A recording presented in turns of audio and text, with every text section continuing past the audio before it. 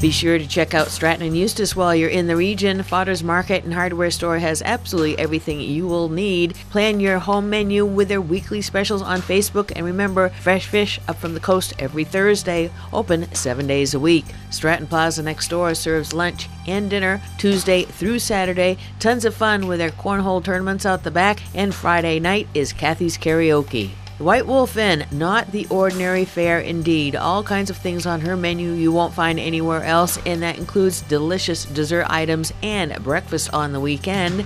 And pumpkins and chrysanthemums are here. Copeland Co op, you certainly can't miss it. The colors are fabulous. Don't let fall bring the end to your gardening. Keep it going with something from Copeland Co op.